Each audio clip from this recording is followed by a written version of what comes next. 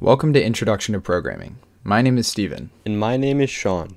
Over the next 90 minutes, we'll be taking you through this series consisting of 21 different segments that hope to cover the basics of computer programming, which can apply to any and all programming languages you might want to learn.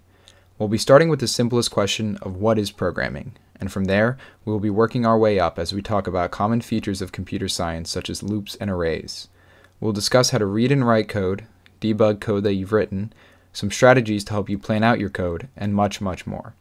The complete list of topics that are going to be covered in this lecture style video are shown on the screen now. Additionally, there will be timestamps in the description, so feel free to skip around if you are already proficient in some areas of computer science or just want to know about a specific topic we will be covering. Hopefully, by the end of the series, you'll have a basic understanding of what computer science is, along with an armory of useful skills that will help you unravel whichever programming language you decide to learn first. We'll only be covering the major key points that apply to all programming languages, so we'll be shying away from topics such as object oriented coding and command line navigation, as those are things which are language specific. Additionally, there will be no software required for you to download in order to follow along with this tutorial, as we won't be writing any code in an IDE to keep things simple and concentrated. This video is meant for those who are interested in computer science and programming, but have no idea where to start and have little to no background information on coding. And so if that sounds like you, then strap in as Sean and I work our way through the wacky world of computer science, starting with the biggest question probably on your mind, which is what even is programming? Well, the dictionary defines it as the process of preparing an instructional program for a device. But that's a really confusing definition. So, in layman's terms, what exactly does that mean? Essentially, it is attempting to get a computer to complete a specific task without making mistakes. Imagine this, for example. You want your less than intelligent friend to build a Lego set except he has lost the instructions and can only build based on your commands. Remember though, your friend is far from competent, and so if they are not given very specific instructions on how to build the set, there are many mistakes that they could make. If he thinks like a computer, then if there is even one piece that you have not told him specifically where to place and how to place it, the entire Lego set will be ruined, and he will be left to suffer a complete mental breakdown, causing the whole goal of the project to be corrupted. Giving instructions to your friend is very similar to how programmers code. Instead of a less than intelligent friend, you have a less than intelligent computer. And instead of instructions on how to build a Lego set, we are feeding it information on how to complete a program, like a game or a web application. An important thing to note is that computers are actually very dumb. We built them up to be this super sophisticated piece of technology, when in actuality, a computer's main functionality comes from how we manipulate it to serve our needs. Now, programming isn't as simple as giving your friend instructions, since in a programmer's case, the computer doesn't speak the same language as you. The computer only understands machine code, which is a numerical language known as binary that is designed so that the computer can quickly read it and carry out its instructions. Every instruction fed to the computer is converted into a string of ones and zeros, and then interpreted by the computer to carry out a task. Going back to the Lego example, this process would be like if he was not only less than intelligent, but to make matters worse, he could not understand English and only speaks in Mandarin Chinese. In order to speak with him, you have to convert the instructions that you understand in English into the language that your friend understands. This process is essentially what you must do for your computer in order to make it understand the instructions that you give it. The big difference between the two examples, however, is that it is very difficult for people to understand machine code in binary. Directly translating what you want the computer to do into machine code is extremely difficult, in fact almost impossible, and would take a very long time to do it if you could. Each program is composed of millions upon millions of those ones and zeros, so how, exactly, are we supposed to translate our instructions into machine code? This is where programming languages come into play. Programming languages are fundamentally a middleman for translating a program into machine code. These languages are much easier for humans to learn than machine code, and thus are very useful for programmers. Going back to our Lego example, a programming language would sort of be like an interpreter that's able to take the instructions you give them in English and translate them into instructions your non-English speaking friend can understand. This makes programming languages extremely useful and the backbone of any good program. Think of programming languages as not English and not machine code, but somewhere in the middle. There are many different programming languages out there that each have their own unique uses. Languages such as Python and Java act as general purpose languages that can perform a variety of computational tasks, while Robot-C or HTML or CSS are languages designed for more specific purposes, such as moving a robot or constructing a website. Languages can also vary in how powerful they are. For instance, JavaScript is a scripting language that is designed for smaller tasks, while Java or Python can carry out much more computationally taxing processes. We can measure a programming language's power, or level, by how similar it is to machine code, the series of zeros and ones we talked about earlier. Low-level programming languages, such as assembly or C, are closer to binary than a high-level programming language, such as Java or Python. The basic idea is that the lower the level of your programming language, the more your code will resemble what the machine can interpret as instructions. Aside from the different purposes that each language fulfills, choosing a language typically comes down to a matter of preference, as there are usually many languages that can accomplish similar tasks. Try different languages and decide which one's rules, interface, and level of simplification you like best.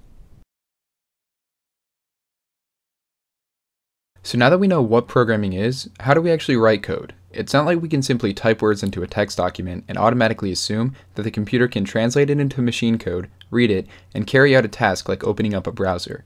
And additionally, we can't just write down rubbish in certain programming languages mentioned in the previous segment and expect the computer to understand.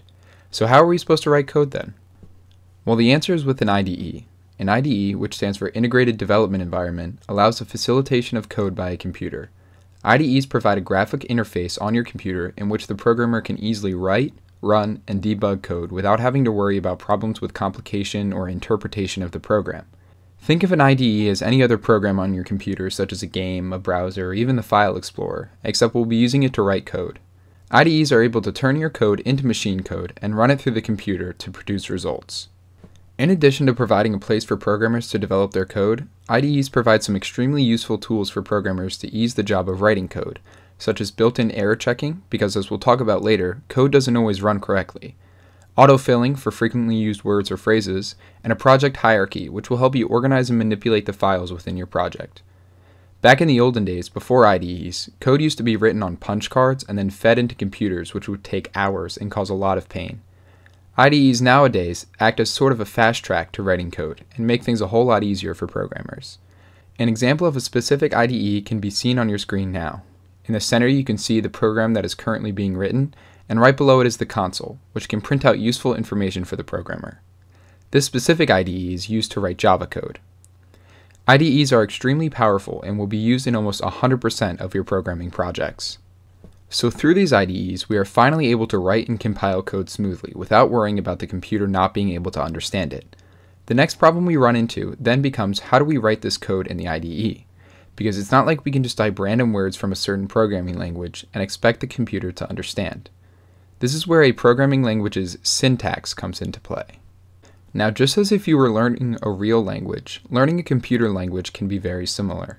Some have different styles that may seem odd, some may make you use weird or abstract concepts which may be confusing, and like all languages, programming languages have a set of rules that you must follow when writing code in that language, and at the forefront of those rules is grammar. Programming grammar is referred to as syntax and is very similar to real world grammar. Each programming language has its own syntax or rules that you have to follow to a T if you want your program to run correctly, just as if you were speaking in real life. These can be things such as how you type out certain functions, what you put at the end of a line of code, and how you set up certain functions. Each language is unique in its syntax, and while some may share similar rules, all will have some quirk which makes it stand out from the rest. Syntax is something that catches a lot of people off guard, since many expect every programming language to follow the same set of rules. But as we spoke about in the last segment, because each language is specialized for a specific task, each needs its own set of rules to function. Breaking or disregarding these rules will result in an error, just how breaking or disregarding rules in real life will result in an unintended message. As an example, if you wanted to do something simple such as initialize a variable, which is something that we haven't covered yet, but the example is still relevant. In Java, you'll notice how we have to specify what type of variable we are defining, in this case an integer, and also add a semicolon after the statement. In Python, we don't even need to define that we are trying to create a variable and just have to type what we want to create. And in JavaScript, we just specify that we are making a variable, but we don't include what type of variable we want to make, like in Java. Even in this simple example, you can see how much a syntax matters when learning a new language, since while the goal of our program remained the same, which was to define an integer with the value 3, all the programming languages shown took different approaches. All these languages require that you follow this syntax because remember, computers are extremely dumb. If you forget one semicolon or misplace a character, the entire program will not run and send you back a syntax error, which is something we'll talk about later. Think of this as if you forget a comma in a sentence and the entire context of what you're trying to say gets misinterpreted. For example, in the sentence, let's eat, Grandma, if you were to forget that comma, while it may seem like a small mistake, it changes the entire context of the sentence, making it sound like you're going to eat your grandma. The same rules follow for programming. If you forget a semicolon, the entire context of your program could be corrupted and misinterpreted by the IDE. Now another thing which makes IDEs so useful is that they will let you know if and when there are syntax errors in your code. Syntax errors of course being parts of your code which do not follow the same rules we talked about previously. The IDE will tell you where in your code the error is, and also won't let you run your program until the error has been fixed. Because of how important syntax is to writing code and learning a new language, it's recommended that you learn the rules and syntax of a language before beginning to write complex programs in that language. Most of the rules are tedious to learn but easy to master, and as soon as you can do that, you'll be able to easily identify syntax errors and take care of them easily, and be writing code in no time. That covers the basic gist of syntax and programming rules. So now that we know how to write code and where to write code, we next need to cover what happens after we have typed out our program and run our code. Because writing a piece of code for a game or for a database is cool and all, but after the computer interprets the program, how will we know what's happening and whether or not it is working? Well, programmers do this by looking at the console. The console is a text interface within your computer that us programmers can use for a variety of different purposes. If you remember, a short while ago we showed a picture of a basic IDE, and one of the main parts of the picture was the console. The main use of the console is to output text from the program. This is usually done by using a print statement. A print statement is a command that does exactly what it sounds like. It prints text to the console. The print statement is the first piece of actual code we've talked about in this series, and it's about as simple as it gets. The print statement, despite its simplicity, is one of the most important functions in programming and exists in some form in just about every programming language. The most basic thing you can ask the print statement to do is to just simply make it say something. This is done by instructing the console to print, and then include whatever you want to be printed inside the parentheses. For example, in Python, the segment of code print hello world will cause a message reading hello world to appear onto the console. Pretty neat. The print statement is also vital for viewing and interpreting the computer's output from a program. For instance, if you tell a computer to run a simple calculation, uh, for example to determine what 4 plus 3 is, it will run the program internally and compute an answer. However, what is the purpose of having the computer run this program if you will not be able to tell what the result is? Instead of simply telling the computer to perform this calculation, instruct the computer to print the output of the program to the console, and upon the program's completion, 7 will appear on the console. As you can see, the console allows us to easily print information out to the developer for a variety of uses. It is important to note that the print statement varies depending on the programming language being used. For example, in Java, there are multiple versions of the print statement depending upon whether you would like a line break after the printed text or not, as well as specialized print statements which make your code run more efficiently. Also, the general syntax of using a print statement and certain nuances of its function can change between languages. However, you can generally rely on it to carry out the same overall function, as it is a foundational statement for programming in general. All of its functionality makes the print statement, along with the console, a very useful developer tool. However, it is important to remember that that is all it is, the developer tool. The console is not really meant to be viewed by the end user of your program. It tends to be hidden away behind the scenes, and other methods of displaying information, such as displaying text, graphics, or images, are used to convey information to the user instead. Think of it like this. When you are using your phone, you see the console in none of the programs you use. So while you can use the console to give yourself information about how your program is performing, don't try to implement it into the final product because it fundamentally just isn't meant for that. Overall, remember to use the console to its fullest extent when writing and fixing problems in your programs, as it is a great tool to use to tell how your program is performing behind the scenes. So now that we know a bunch of information about programming languages and how and where to write them, along with the print statement under our belts, let's go over some intuitive things that the computer can do all by itself, without you having to tell it how to. More specifically, we'll be covering some basic number mathematics as well as string math. Starting off with basic mathematics, the computer already knows how to do simple arithmetic. This includes addition, subtraction, multiplication, and division, all of which are represented by the symbols shown on the screen now. In any IDE that you may install, you'll be able to print out the answer to simple math problems using the print statement, which may seem counterintuitive because why would you use the computer to do math when you have a perfectly good calculator on your phone? But you have to remember that computers are dumb, and anything we want a computer to do, we have to build up from scratch. Basic arithmetic, while simple, helps out in almost any program you may write. For example, if we wanted to build a basic calculator app, we'd need to utilize this functionality in order to correctly display the answer to an arithmetic problem when our user tries to add, subtract, multiply, or divide two numbers. Now, in addition to the four basic math equations, most programming languages include an additional operator known as modulus.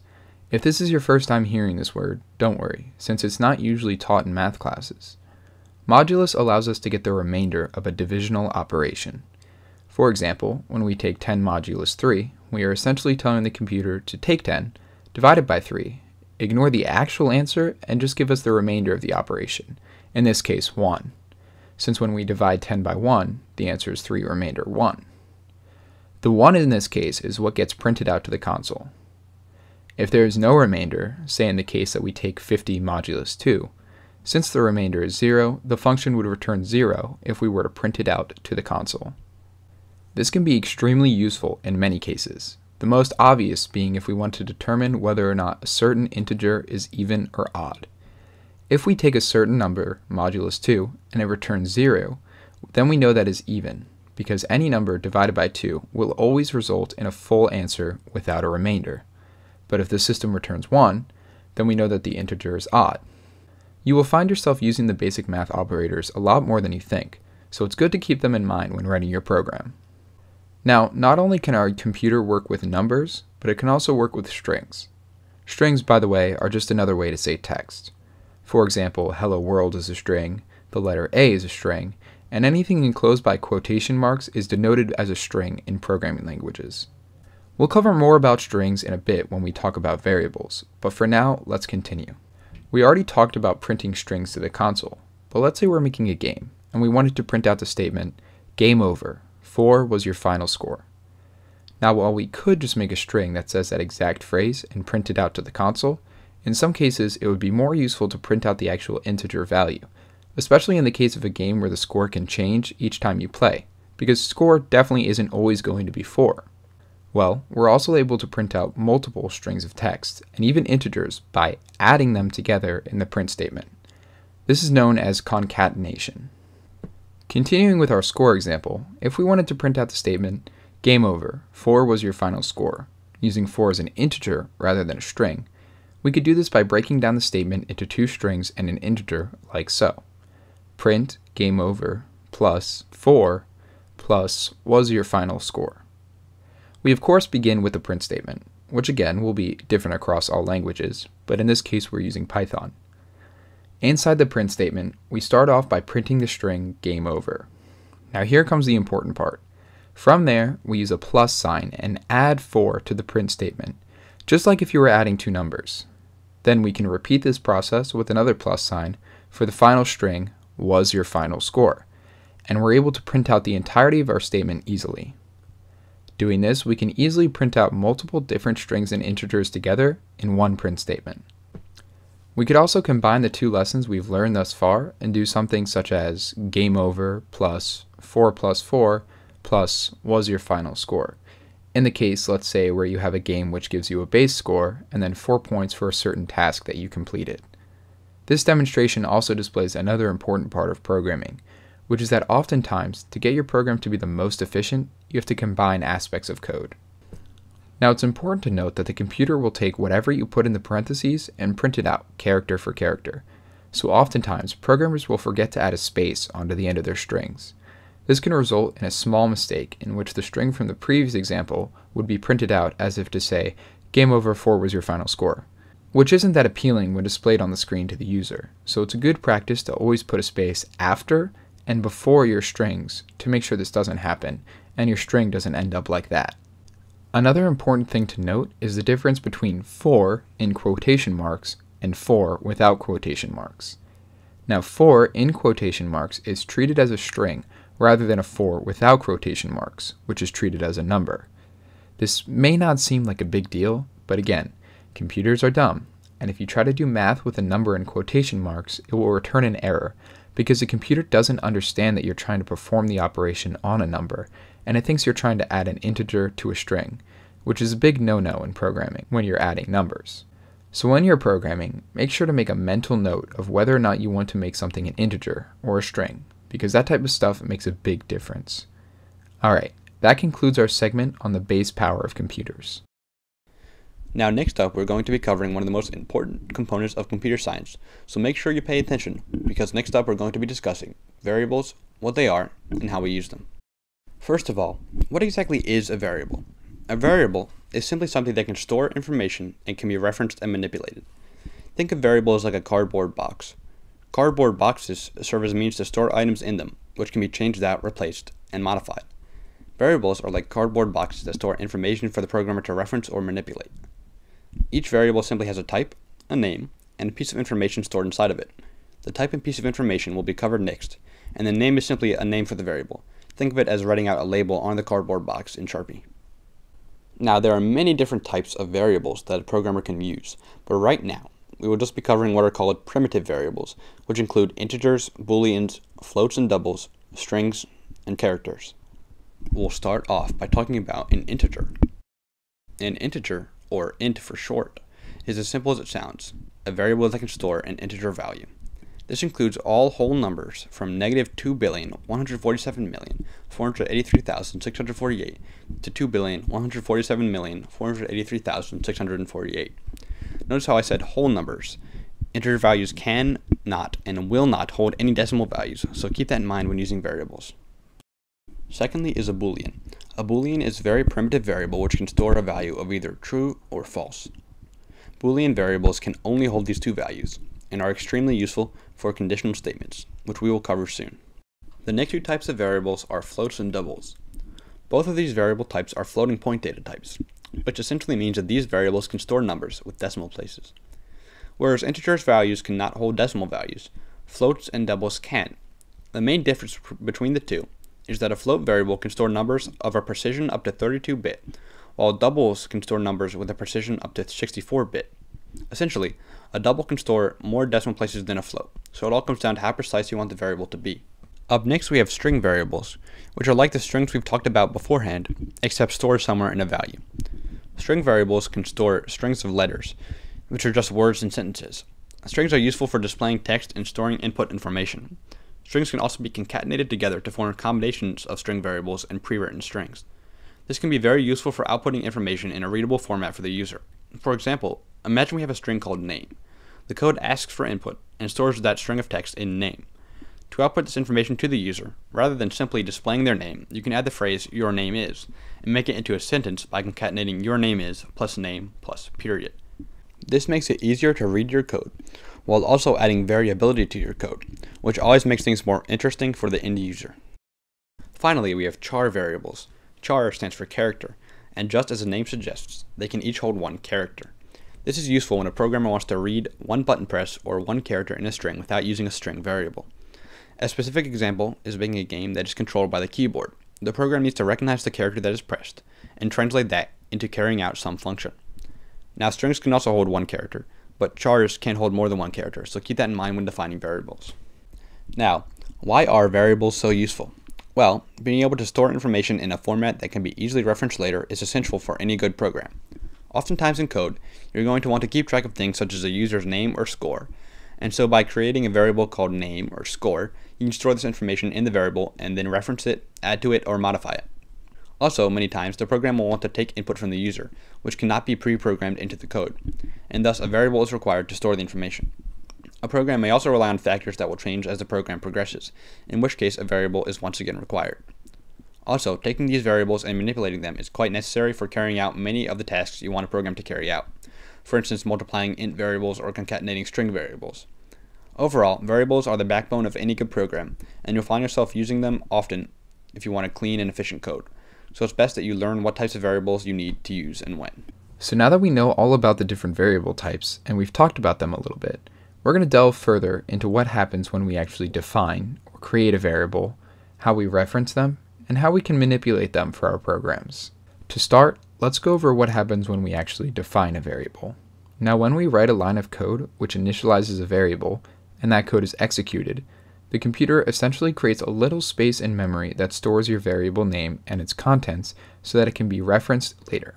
Going back to our cardboard box example from the previous segment, think of this as if you had your own storage facility, and you make a new cardboard box labeled name, and inside of it you put a piece of paper with the word null pointer exception on it.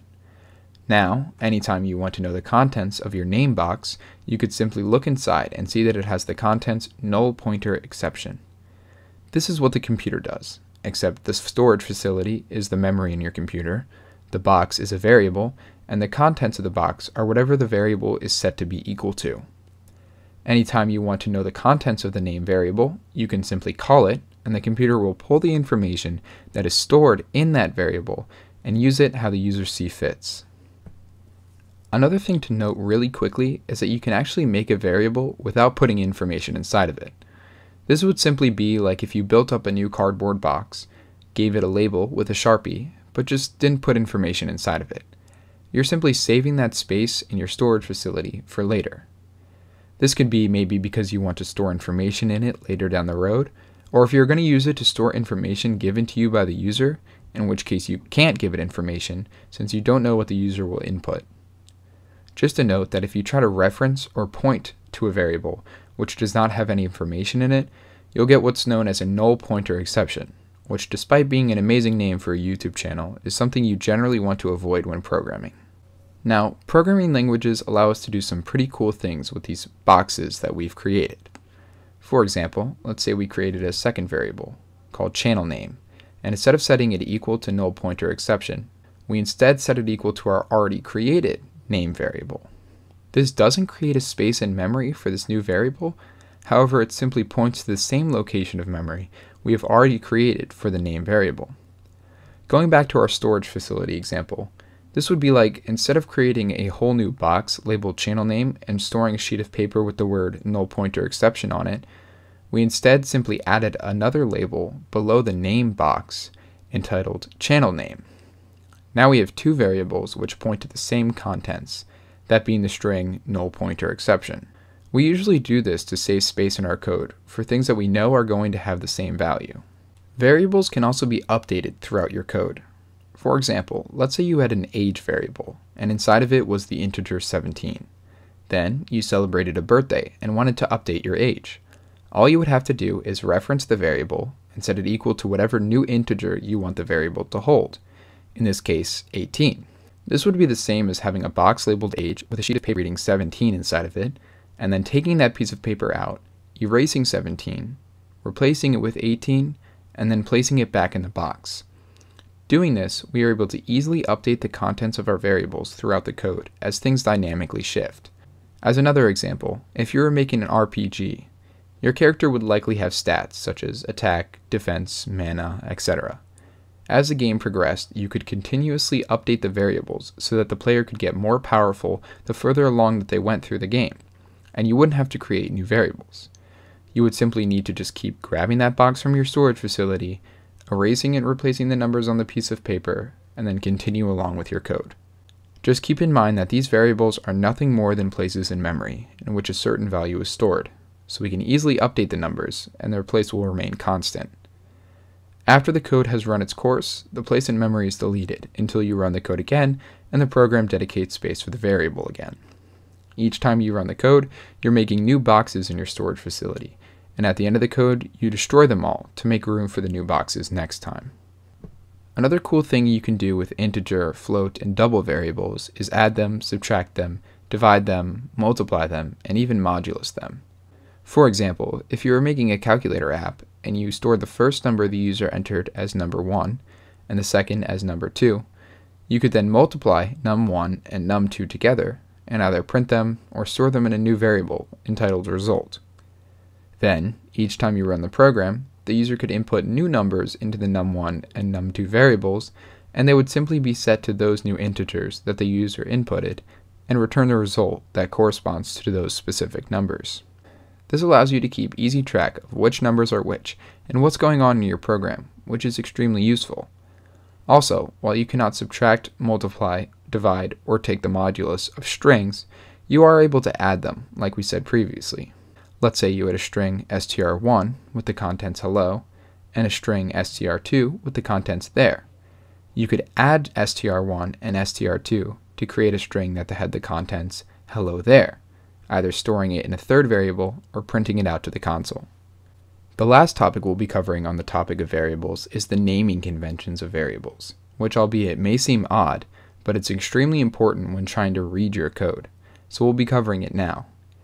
Now variables have to be one continuous string, and so if you wanted to make a variable that stored the player's score, you'd have to find some way to combine the words player and score, since you can't have the phrase player score be the name of a variable. All programmers have their own personal preference when it comes to naming variables, but the one we'll be using in this lecture is called camel case, which is the process of not capitalizing the first word, but capitalizing every word that follows it.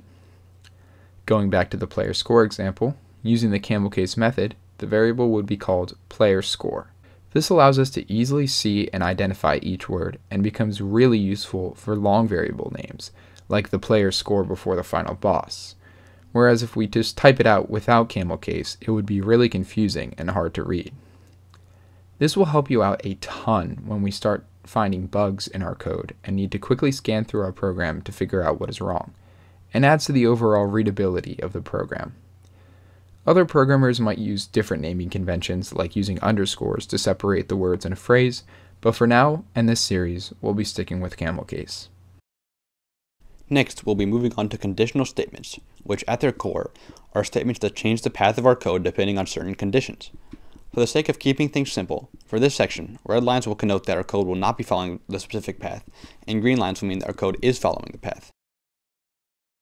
The main type of conditional statement that programmers use is the if statement, and this will show up countless amounts of times in any program you write. It is as simple as it sounds. If some condition is true, and usually that condition will be enclosed by braces, then carry out the instructions located within the if statement's brackets. Else, do another thing. Now, brackets are used in most programming languages to indicate a segment of code which will run. It works like this. If the condition in parentheses is true, then all of the code contained within the brackets will run. And if the condition within the parentheses is not true, then it will skip over all of the statements within the brackets. A quick note is that while this is the case with most programming languages, some, like Python, use colons and whitespace to determine where a piece of code starts and ends. But for the sake of this series, we'll be using curly braces. Now, the condition within the parentheses can take on thousands of different forms, such as if the value of the string variable name is equal to Steven, or if the player's score, stored in an int variable, is greater than 5. The list goes on and on. Each of these statements is evaluated as a boolean, which you will remember from when we talked about variables, is either true or false. If the boolean is true, we run the code inside the curly braces. If it's not, we pretend everything inside the curly braces never existed and move on with our code. The if statement comes with two more additional statements that can go with it, else if and else. Else if is a conditional statement used directly after an if statement and carries out mainly the same function as an if statement. However, the else if statement will only be evaluated if the preceding if or the preceding else if statement is bypassed due to its condition being false. So we would run through it like so. If something is true, we would run the code inside of that statement's curly braces. Else, if that something is not true, but another statement inside of the parentheses is true, we would then run that code segment and if neither of them are true, we would skip both segments of code and move on in our program. This can be a hard concept to wrap your head around, so let's do an example. If we had a program that evaluated the if statement if age is equal to 10, we could then have a statement under that which stated else if age is equal to 12. Now, if the age variable was 10, which we can see from the example that it is, then the code immediately following that conditional statement in the brackets would run. The else if statement we made will not even be tested since we know that it is going to be false, and thus the print statement inside of that conditional statements brackets will be ignored, and the code will move on to the rest of the program. Now, for example, let's say we change the age variable to be 12 instead of 10. Now, instead of the first conditional statement being true, it actually evaluates as false, since age is no longer equal to 10. So what we do now is first skip over the print statement, which prints out that age is 10, since it's not. And then we evaluate the else if statement. We check if age is equal to 12, which again it is. And so now we run all the code inside of that conditional statement before finally moving on to the rest of our program. So, as a review, we check the initial if statement. If it's good, then we run all the code within that if statement's curly brackets and move on with our program. If the initial if statement is not true, we then move on to any else if statements and evaluate if those conditional statements are true. We can have as many else if statements as we want, although this could lead to clutter amongst your code, so we'll talk about some alternatives later to help this out. Now that takes care of the if else statement, so now we'll move on to the else statement. The else statement once again comes after an if or an else if statement, and will carry out its instructions no matter what, as long as the preceding statement slash statements are evaluated as false. If we went back to our previous program, we could add an else statement, which would only have the code in its brackets run if the age variable wasn't 10 or 12. This will catch all cases of the program that didn't fit into our parameters. It's good practice to always have an else statement at the end of your conditional statements to catch any weird cases that may come up in your program. Now remember back to the fact that we could have thousands of else statements. After a while that can get pretty cluttered, and so another very useful conditional statement which helps circumnavigate this problem is a switch statement. A switch statement is functionally similar to many if and else statements together. You write a switch statement in the form of switch variable, and then below that you write out how many cases the variable could be. For instance, if we wrote switch var, and then under it we could write out five cases that the variable var could be. And then the instructions listed under each case would be carried out if the var variable would be equal to that case. Now switch statements are different since instead of using brackets, they use a colon to signify the start of a set of instructions and a break statement to end them. This is very useful because you are able to essentially use many if and else if statements without having to write nearly as much. In switch statements, you just always have to remember to include a default case at the bottom of the expression to denote any and all cases that don't meet the above requirements. This simply catches all the inputs that don't fit within the program's main cases. It's very similar to an else case at the end of an if-else chain. Now, why are these statements so useful? Well, many times, programmers want their programs to function differently depending on different conditions. For instance, a program could function differently depending on the information that the user inputs such as allowing a user to use a program or not use a program if they are above or below 18 years old, respectively. Or in, say, a video game, if a user's experience is above a certain threshold, we might want to give them harder opponents to battle. Another example could be a program which changes the color scheme depending on the time of day. Or even more simply, if a user presses a button that is meant to move on to another screen in an app, the programmer would only want that app to change screens if the user clicks that button.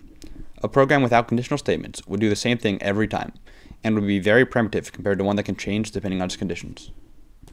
So now that we know how to make and use variables, how to compare them, and what we can do with those comparisons, let's move on to another foundational concept of computer science, and that is arrays. Now we've already talked about variables, and how great they are for storing singular bits of information for making our code more simplistic. But one of the biggest drawbacks that comes with variables is their inability to hold more than one piece of differing information. For example, let's say you're making an app which allows a user to create a grocery list. Well, there's no real easy way to create lists using variables, because it's not like you can have one variable store the names of six or seven different food items. Remember, we can only put one piece of paper in our cardboard box, no more. And besides, even if you were able to add multiple items to one string variable, you would still have a lot of trouble doing simple tasks you might want from a list, such as searching through it, splitting it, or even deleting items from the list when you're done with them. This is the problem that using arrays solves for us. An array is, as you may have guessed by now, a list. You can have an array of integers, an array of strings, and even an array of other arrays, which is something we'll cover in a minute. Programmers use arrays when they want to store a lot of variables containing information that is all related to each other, such as a grocery list or a high score list in a game.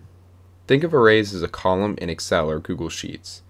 You have the title at the top, and then below it are a bunch of bits of information which all relate back to the title. Arrays are super useful when programmers want to store a lot of information that can be easily searched through, because programmers have developed methods of breaking down and using arrays to find specific information in arrays full of thousands of different variables. As an example to show just how useful arrays are, Let's say you're a startup company that owns an app that has 100,000 users. Every time a user wants to create a new account, they input the username they want, and then your program will have to check to make sure the account name hasn't already been taken. Doing this requires you to search through the information of all 100,000 of your users to see if that username has an account with your service. An array would be able to contain all of this information and make it easy to search through and find out if the account name has already been taken, with little to no delay. Now the single most important thing to note about arrays is how you reference each element of the array within them.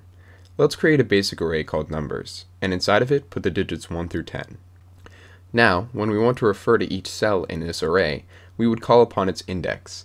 An index is just a fancy way of saying that number's place within the array. Now, you would think that the first integer in this array would be the first index, the second would be the second index, and so on, but that's simply not the case.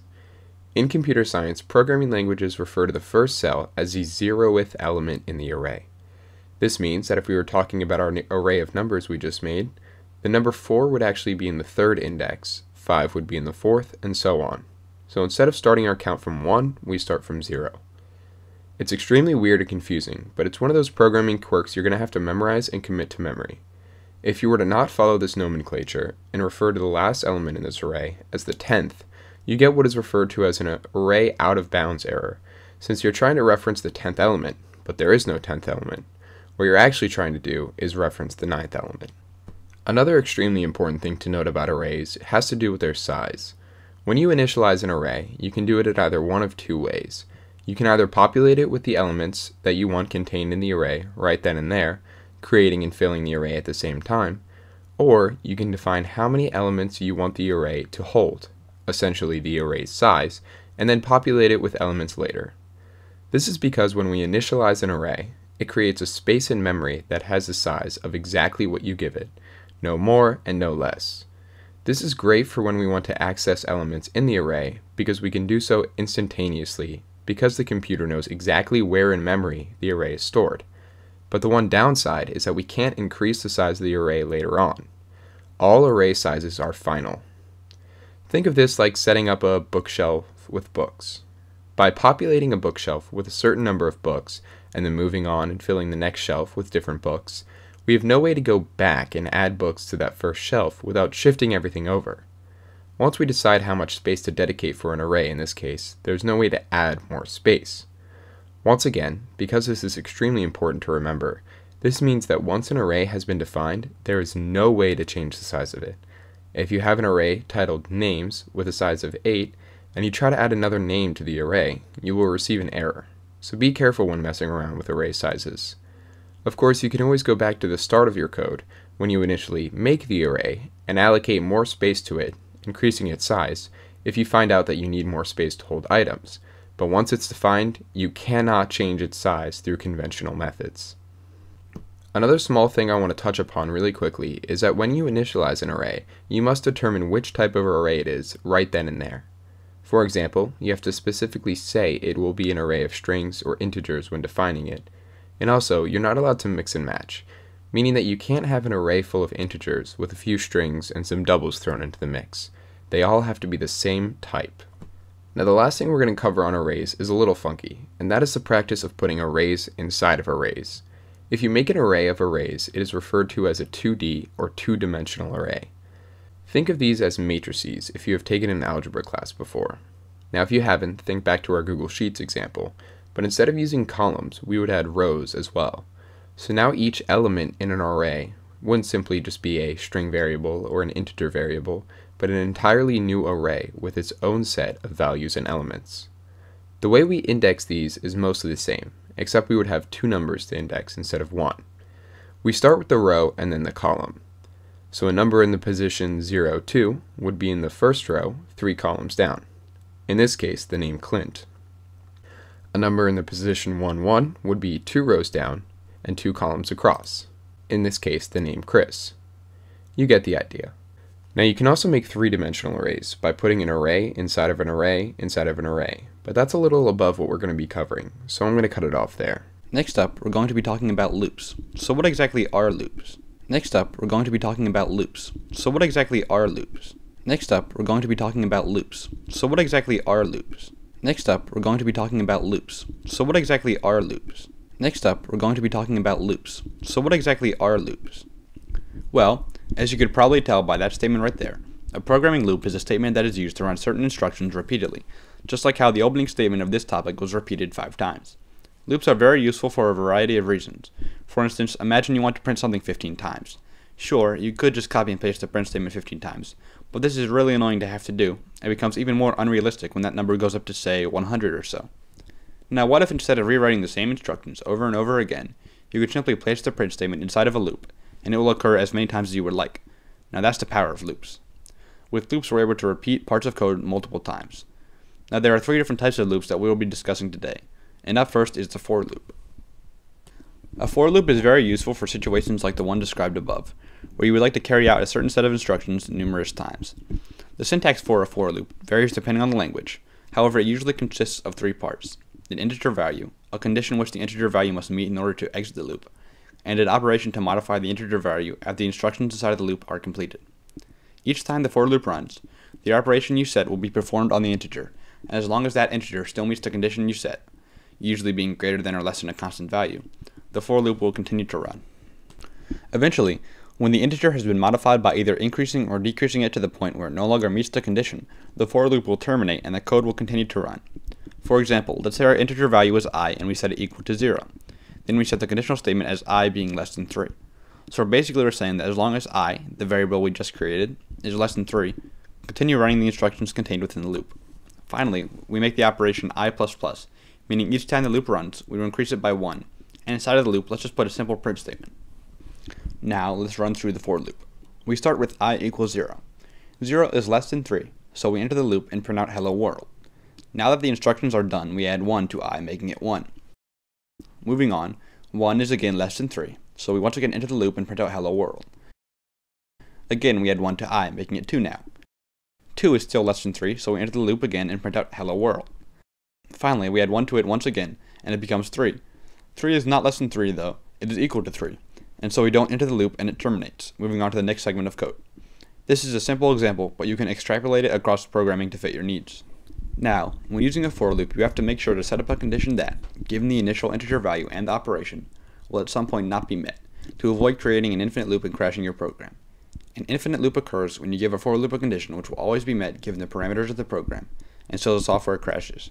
For example, a for loop beginning at 10 and checking if i is ever less than 0, and then adding 1 to i at the end of the loop will never terminate since i will just increase infinitely. After the for loop is the very similar for each loop.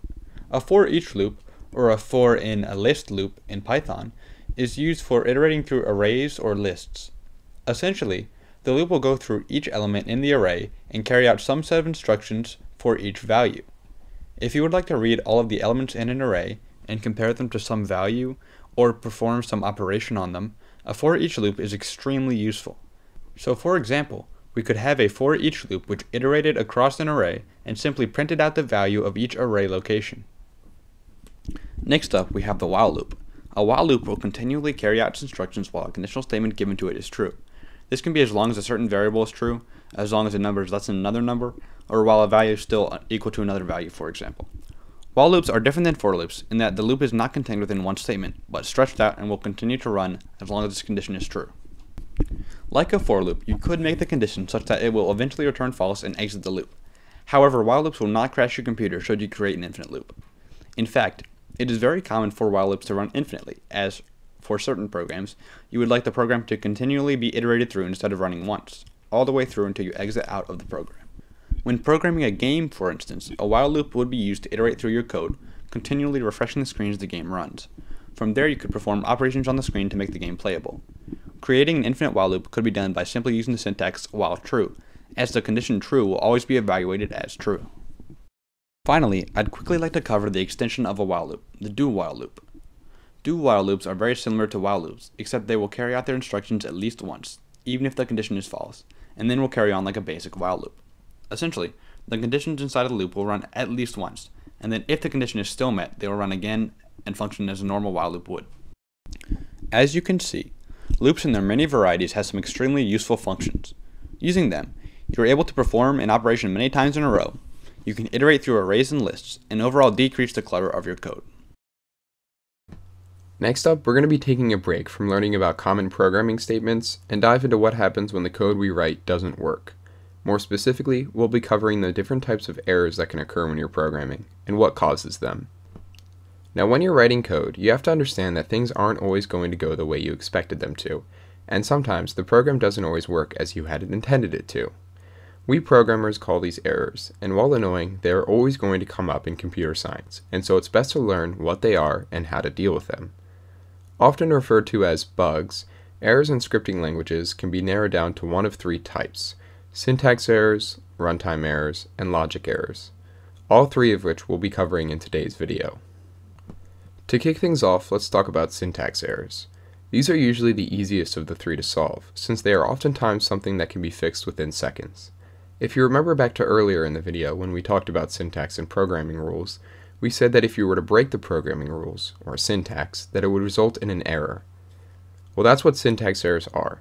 Parts in your program where you fail to meet the programming rules, and so the computer doesn't know how to interpret your code. This can be anything from forgetting a semicolon at the end of a statement in Java, accidentally defining a variable with two words instead of one, or even just misspelling the word string when you're trying to define a string variable. Lucky for you guys, these errors are extremely easy to fix, since you just need to figure out where the error occurred and what the syntax rule you broke was. Now thinking back to IDEs, we mentioned that IDEs are so useful because they do precisely that. They underline the syntax errors and usually provide helpful hints as to how to fix them.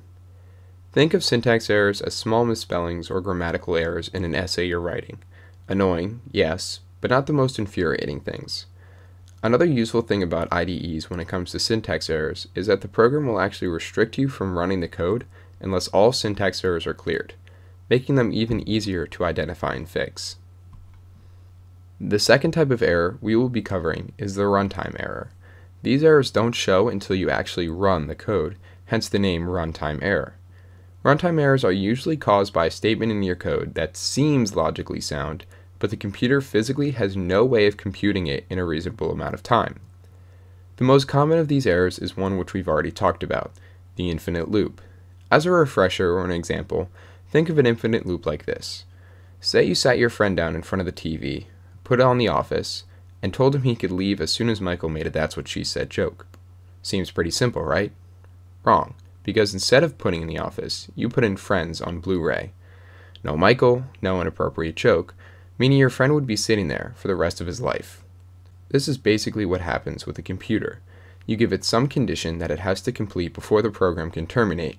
However, you give it no feasible way to finish the task.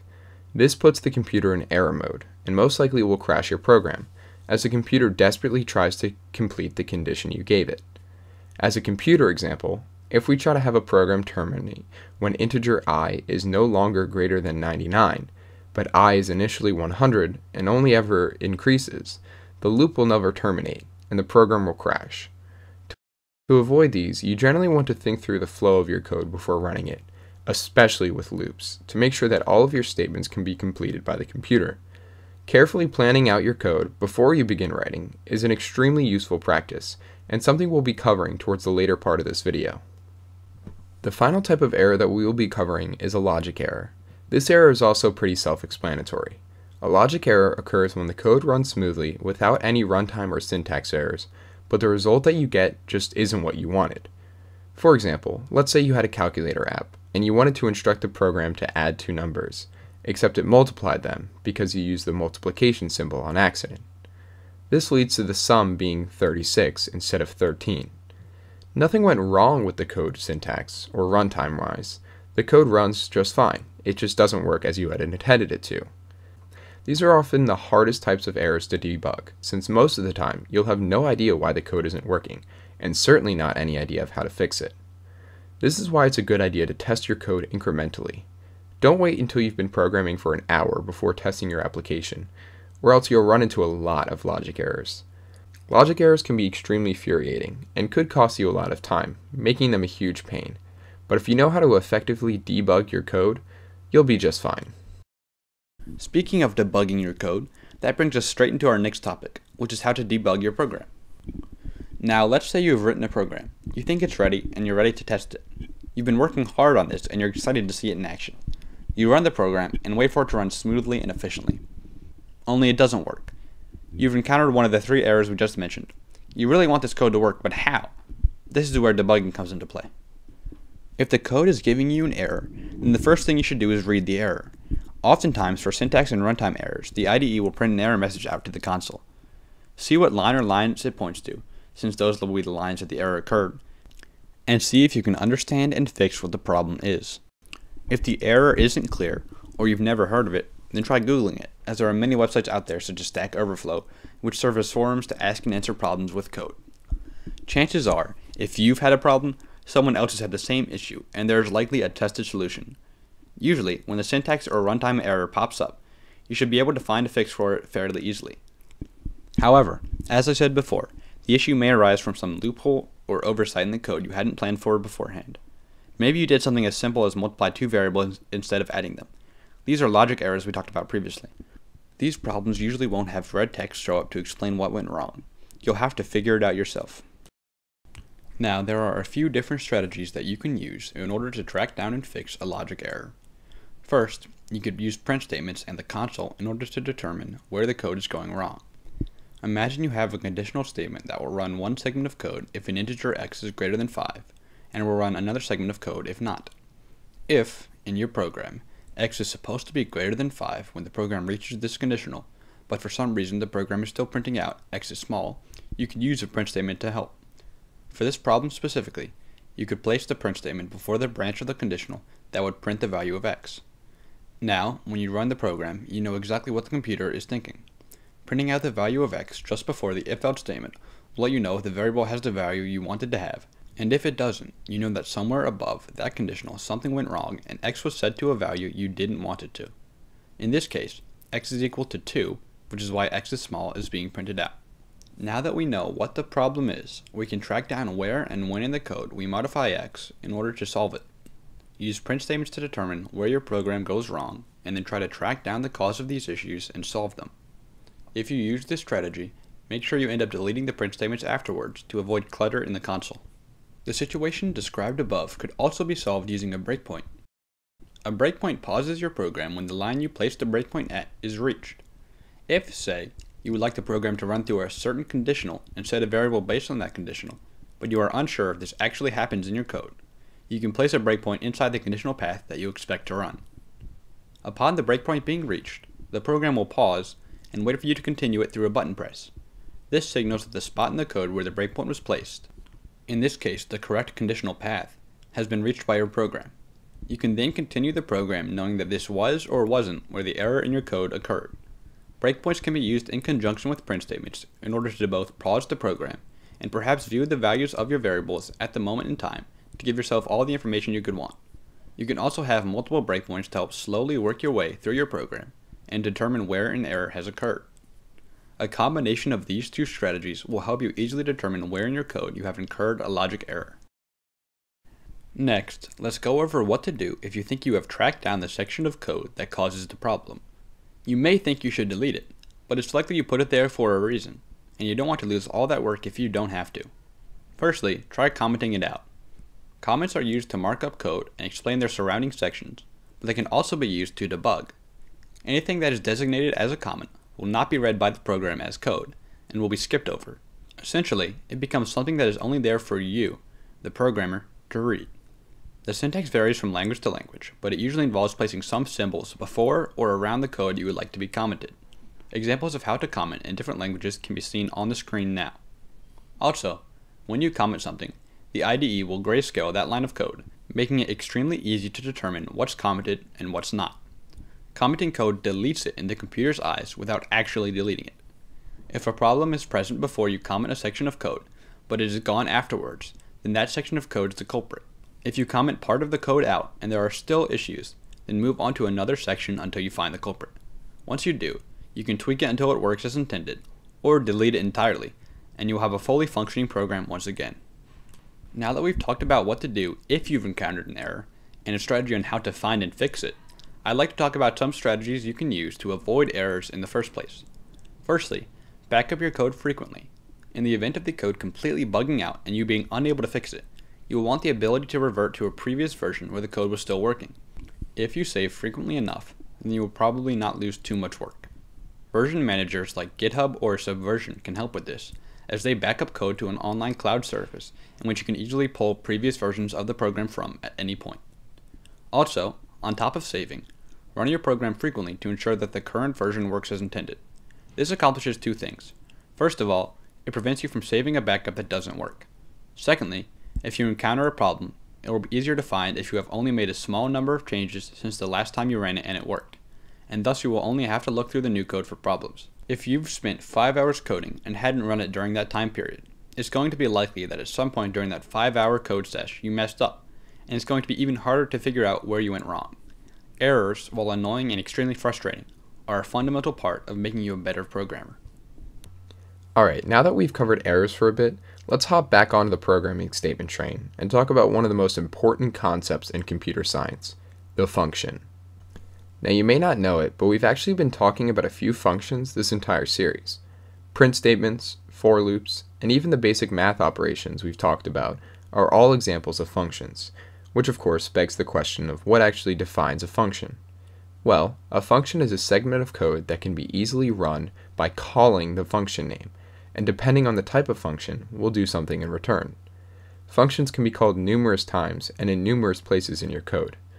Essentially, they are like wrapping up a segment of code into a nice present and giving it a name, which, when called, will unwrap the present and go through the code that you had wrapped up. For example, the print statements we have been using this series allow us to print something to the console anytime we want. Those are functions. You see, we just call the print function and enter in what we want to be printed to the console into the parentheses, and the computer does it for us.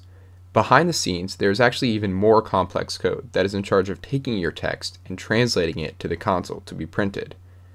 The developers of almost all programming languages realize that you don't want to program something that manually has to print something to the console through the use of complex programming, and so they implemented the print statement to reduce the stress and complexity of code on the user, abstracting it to the single line of code that is print. All of that code that is used to print something to the console is wrapped up like a present and given to us in the form of one line. This is actually the main theme of all functions and the backbone of any good program. Oftentimes in your program, there are going to be sections of code which are repeated and serve the same purpose, or equations which you want to allow differing inputs of. And so you can use functions in order to condense these down into singular lines of code to save both time and reduce clutter on your code. As you will see soon, functions are extremely powerful and will definitely be something you utilize all the time in your computer science journey. The print statement is just one example of functions in everyday code. There are thousands of functions that are available to you through the IDEs. However, because we won't always use all the functions that are available to you in a single program, you have to import these functions from packages found in the IDE, which is something that we'll be covering later on. Now, there are four main types of functions in most programming languages, and they are separated by two defining features whether or not they take in arguments and whether or not they return values. Let's start by separating them by whether or not they take arguments. But first, we have to cover what arguments actually are. Arguments are essentially variables that we pass into the function in order to be manipulated and then either returned back to us, printed to the console, or used in another operation. Think of functions with arguments like this. If you walked up to your local Five Guys and told them that you wanted to get food without supplying a type of food, they would probably look at you confused. In order to get the food that you want, you need to tell them exactly what you want to order so that they can give it to you. In this case, getting food is the function, and what you order in terms of food is being passed in as the argument. Based on what you tell them, or the argument that you pass into the get food function, they will do something different.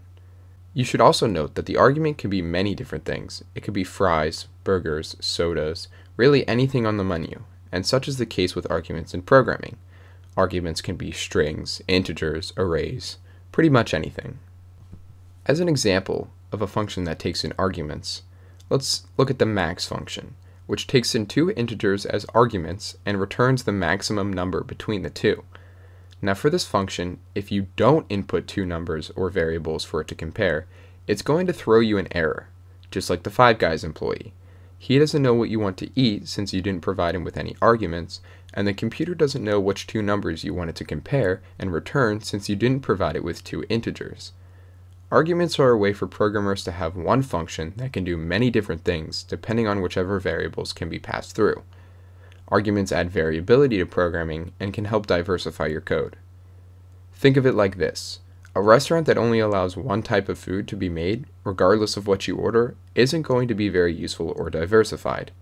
But if we're able to pass in arguments and tell them which food we want, our experience can be heightened and more options can become available to us, which is exactly what happens when you start using arguments in your function. Now that we've talked about functions that take in arguments, let's move on to functions which do not, because functions can also be created and used without taking arguments in, and still be incredibly useful to the programmer. For example, let's say you are making a text-based RPG game, and one of the options you give your player is the ability to view their stats at various points throughout the game. Now every time you come upon this option, and they choose the View Stats button, you don't have to type out six different print statements for every statistic they may have your code would get cluttered and messy very quickly. Instead, what you could do is you could package the six different print statements in a simple function called print_stats. You don't need to pass in any arguments into the function, since the function will do the same thing no matter what the statistics on the player are. Now, every time the user wants to view their stats, you could simply call the print_stats function, and voila, the user stats are printed for them to view. This allows you to save a lot of time writing code, but also a lot of space, which is extremely important when your programs begin getting into hundreds and thousands of lines of code and you want to easily search through it to maybe debug. Okay, now that we've separated functions into those that take arguments and those that do not, let's again split these up into those that return values and those that do not. Now the thing you have to understand is that when you're making your own functions, which is something that we'll be covering very soon, you have to choose what your function will return, if anything at all. Functions are able to return values back to the user, whether they be in the form of string variables, integer variables, or even arrays. Now the thing to note about returning variables is that calling the function alone won't do anything. You have to return the value into something, or print it out. As an example, the max function we talked about previously would return an integer back to the user, but in order to do something with it, we would have to either set a new integer variable equal to the result of that max function, or we can print out the result of the function, which in this case would just print out the maximum value between the two integers.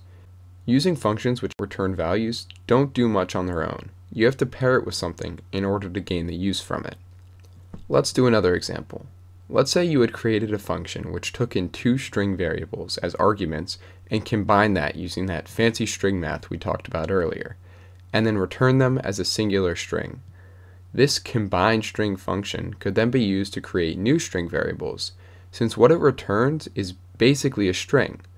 The variable would simply be set to whatever is returned from this combined string function. The last type of function is one that does not return anything, and these are known as void functions. Oftentimes, these are like the print stat functions that we created earlier simply used to condense large amounts of print statements that appear often in your code. These cannot be set to variables since they don't return anything and just get the code that's within them run through. So there you have it, the four types of functions. Ones that take in arguments and return something, ones that take in arguments and don't return something, ones that don't take in arguments but still return values, and ones that take in arguments and don't return anything. Each of these four types of functions are useful and unique in their own way, and you will probably find yourself using each of them through your programming journey. So get used to the different types of functions, and know how to make the most of them, as they are all extremely powerful. Finally, I'd like to talk about one of the major benefits of functions, which is that it makes it super useful to make large changes to your code without having to go through the entire program. Each function call is essentially just a copy of that function's original code and so it's very easy to make changes to that initial function and have it translate across your entire code. Let's go back to our print stats function and say that you wanted to go back and add in a new statistic that the player could level up and through experience in the game. Without functions, you would have to go back into your code and find every instance that you'd printed out the user's stats and create another print statement to display the new statistic. However, if you had created a print stats function like we did just a while ago, all you would need to do is find out where you define that function and add in a print statement which displays the new statistic and you're done. Now, every place which you had previously called the print stats function will now also print the new statistic as well. You can see just how powerful functions can be if used properly, and we haven't even scratched the surface yet. Now, up next we're going to cover how we can import other people's functions that they've written and use them in our code. Now before we get technical, close your eyes and imagine you are trying to build a house. Sure, you could grow your own trees, chop down your own wood, make your own tools and nails, and build it from scratch. But why do that, when you can simply go to your local Home Depot and buy these materials that others have already made ready for you? That's the main idea behind importing functions into your code. Importing functions allows you to gain access to libraries of functions that other people have already made for you. This is just as useful as it sounds. There are so many functions that are super useful for any given program that it would take you forever to write them all yourself. Luckily, other people have already done most of this for you. In each programming language, you are able to use an import statement to import libraries of functions into your program that you can use as you write it. A library is simply a collection of functions that all have the same theme and maybe a math library, a data analysis library, a library which translates text, or anything you can think of, really. There's such a variety of libraries for any given language that most functions you require that are not hyper-specific to your program can likely be found in some library. In fact, a good portion of any programmer's job is looking online for packages which can make his or her job easier instead of handwriting functions. Now I can hear you saying, wow, that's sick! How do I do it? Well, it's quite simple. An import statement. In most languages, an import statement consists of three parts. The library you would like to import from, the package you would like to import from that library, and then which class from that package you would like to use. For example, we could load up the Java library, and from there import the util package, short for utilities, and then from that utilities package, import the scanner class, a class which allows us to read information from the user. A package is simply a smaller set of functions and methods to help differentiate between the thousands of methods contained in a library, and a class is even more specialized than that. Now, if you don't know what specific classes you're going to want to pull methods from, you can use a star to import all classes within the package you'd like. However, it can be beneficial to be more specific and only import the classes you would like, as it helps with the efficiency of the program in the long run. For instance, in Python, the syntax to import a library is import followed by the library name. However, importing an entire library is more computationally taxing than importing specific functions from a library. Imagine you would only be using the factorial function from the Python math library. It would be a waste of computing power to import the entire library, and it would increase the load time for your program. For smaller programs, this isn't a big deal, but it really starts to add up when dealing with larger projects. Therefore, you would instead use from math import factorial, or the Java equivalent import java.math.factorial, and now have access to that one math command only. This limits the functions that you can use, however it saves programming runtime. If you decide you want to use another function that you hadn't planned for, you can always go back and import that too. Many times, if you try to use a function from a common package and you have not yet imported it, the IDE will prompt you to do so. If you're trying to figure out which libraries you want to import, think of the functions you're going to need in your program. Perform a simple Google search, and you will probably run into a package or library that already exists in your IDE that you can use. And if you can't, there are ways to download and import additional projects to fit your needs. But what if, after all that, you still can't find a library that contains the function you're looking for? Well, that's a perfect segue into what we're going to talk about next, which is the basic structure for writing your own functions. So at this point we've talked about both what functions are and how we can get some very useful functions by importing them through packages. But there are definitely going to be moments in your programming career where you're going to want to make your own functions because you want one to be made specifically to your program and code. Luckily, making your own functions is extremely simple. There are just some basic rules that I want to cover. Now while we've previously used making functions as an example for other topics, such as the player stats function from a little bit ago, they were extremely abstract and didn't go into depth into what is needed for an actual function to operate.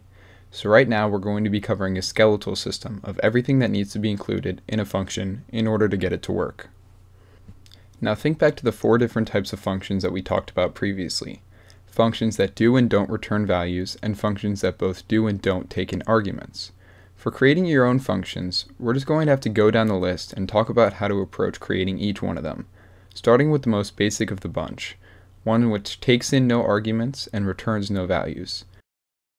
But before we start that, there are a few small things I want to note about function naming conventions. The variable naming conventions we talked about previously also translate over to function names. So you can't have two word functions and you can't use special characters like periods or commas. Generally, you're going to want to follow the same camel case style which we talked about in the variables video, which is not capitalizing the first word, but capitalizing each word after that. Alright, so in general for making functions, each language differentiates on how you tell the computer that it's actually a function. In Java, you have to define the function scope, which is something you don't really need to know unless you're going to become more invested in Java, but basically it tells the computer which parts of the code can use the function and which type can't. For this series, all of our functions that we make are going to be public. From there, you then determine which type of function it is. So in this case, since it won't be returning any variables, we'll just put void to signify this type of function will not be returning anything. Finally, you put the function name after those two identifiers, along with a set of parentheses after it like so. The parentheses are where your arguments would go if you were making a function that took in arguments. But since for our first type of function, we're not incorporating arguments into this function, let's just leave those blank. All of that is just for Java. Python, on the other hand, all you have to do is put the word def, short for define, and then the function name with a set of parentheses. So as you can see, each language is going to be a little bit different in how you make functions, but the main thing we want to remember is to always add parentheses. From there, we just type what we want our void function to do within the confines of the function and close it off and we're done. In Java, the confines of the loop would be whatever is contained within the curly braces, and in Python it would be until you are no longer indented. At its core, this is the most primitive type of function we've made something which takes in no arguments and returns no values, quite similar to the printstats function from early on. Moving on to the next type of function, creating a void function that takes in arguments. Now this process is going to seem very similar to the previous, except for one small adjustment. Remember the parentheses that I mentioned earlier? Well, we put any variables we want the user to pass into the function into these parentheses, and then, when we call that specific function, it will be required to have those variables passed into it. For example, in Java, let's make a function that takes in two numbers and prints out the product of those numbers.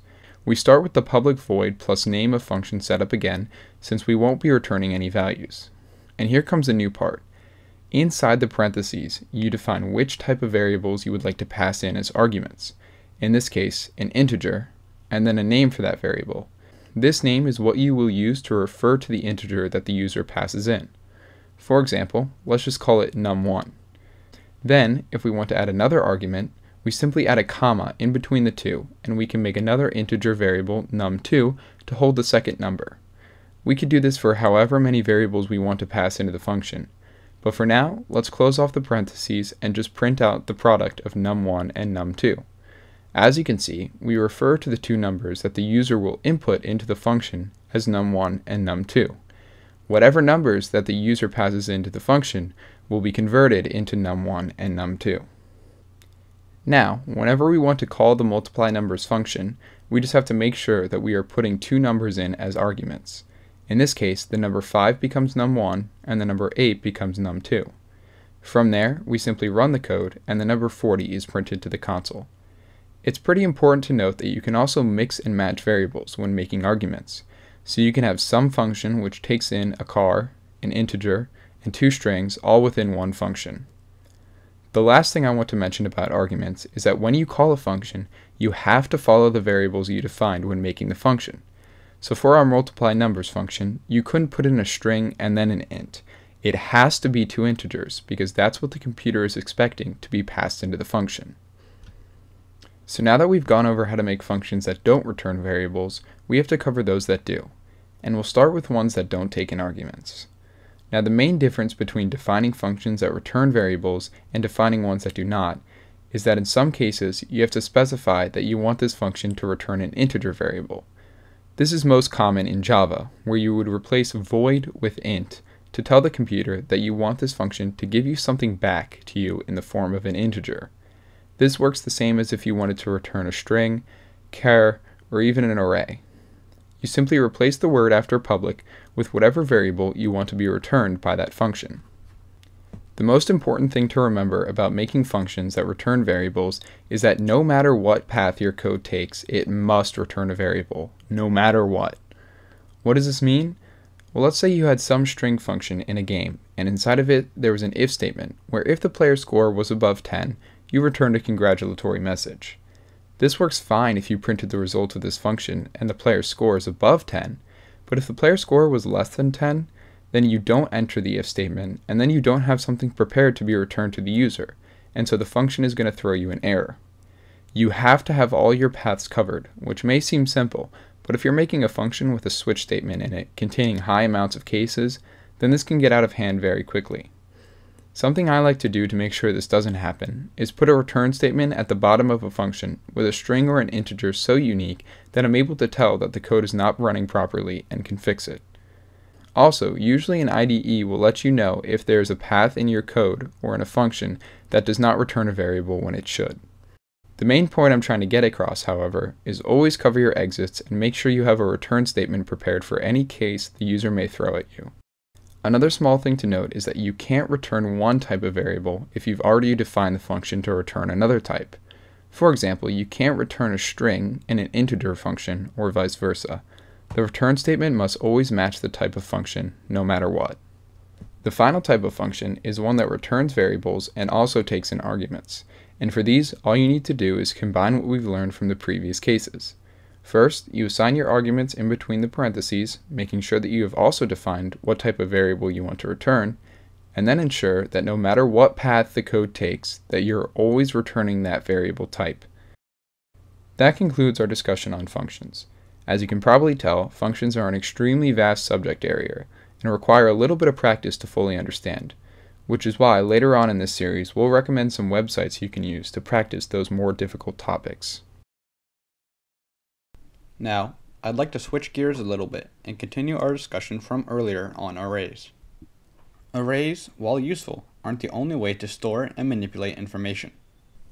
In fact, there are a multitude of different ways to store data in computer science, including linked lists, stacks, queues, maps, trees, and many others too. Right now, though, I'd like to talk about two cool, wacky, and zany ways to store data that we haven't previously covered array lists and dictionaries. But before we get into those, let's get a little review and reinforcement of arrays. As you may remember, arrays are basically lists of values that are stored together. When you initialize an array, you give it a size, and this size is fixed. You won't be able to increase the size of the array, so when you make an array, its length is final. To access the values in an array, you reference them using an index which starts at 0. What this means is that the first item of an array is not at position 1, it is at position 0, and its position is commonly referred to as its index location. So, to find the nth item in an array, you would refer to it as index location n minus 1. However, as the size of an array is fixed, you have to be careful to not reference a position that is beyond the total size of the array, or to append too many items to it, as this will return an error. We also have what are known as two-dimensional arrays, which is an array containing an array at each of its indexes. Or you could have an array containing arrays containing arrays containing arrays containing arrays, depending on what you're trying to do. Multidimensional arrays can be useful in more advanced programs for organizing a wide volume of related values. If that's confusing at all, skip back to earlier for our full discussion on arrays. The timestamp will be in the description. Now that we've reviewed arrays, let's go over array lists. Array lists, or just lists in Python, can be thought of as a growing array. Earlier, we mentioned how you have to be careful to set an appropriate size of your array and to make sure that you only reference and append values such that you remain within the size. However, with array lists, this isn't a problem. After you initialize an array list, it instinctively has a size of 10. But if you append values such that the size of the array list goes beyond 10 elements, an array list will grow itself, meaning that the computer will allocate more memory to the array to increase its total size so that the new values can be appended. This is quite useful when you don't know the exact number of values that the array will need to store, or you want the ability to store more values to your heart's content, such as when you're making a database with an unknown amount of users that will sign up. There is a lot more to uncover when regarding array lists, but for this surface level series, that is all you pretty much need to know. So let's move on to dictionaries. Now, when we're talking about dictionaries, we're not referencing that thick book you probably have lying around your house, which has thousands of definitions. In computer science, dictionaries are like arrays in that they store multiple values, however, their values are stored very differently. Rather than being referenced by their linear position within the dictionary, each value is tied to another value that is used to reference it, or its key. Because of this, we need to throw away all conceptions of dictionaries as a linear way of looking at data, since in actuality, it is much more fluid and interchanging. Basically, we say that each position in a dictionary holds a key value pair. When referencing a value in a dictionary, you will use its unique key, and the dictionary will tell you the value that it is tied to. Think of it like this. Each time you add an item to your dictionary, your computer creates a handcrafted box to store the data, and also custom makes a jewel key, one of a kind, no other like it in the world. This way, there is only one key that goes to the box that stores a certain bit of information. Because each key must be unique, reusing a key in a dictionary will result in an error being thrown because having two keys that are exactly the same would confuse the computer as to what box or piece of information that key leads to. However, you can store the same value in multiple key value pairs since the keys would all be different. Now, like I said, dictionaries are more fluid, making them easier to organize than arrays, as everything is set up in a more logical manner. That is to say, it is easier to find the value you are looking for when you are using keys rather than simply referencing their positions. Let me explain what I mean. Imagine you have a dictionary of prices at a store where the key is the name of the product and the value is the price of the item. Maybe apples cost $1, milk costs $2, and bread costs $3.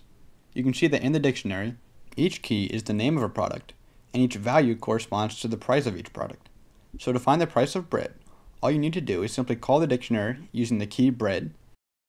This makes it extremely easy to track values through your code since you're working with tangible values rather than numbers which don't mean anything to you.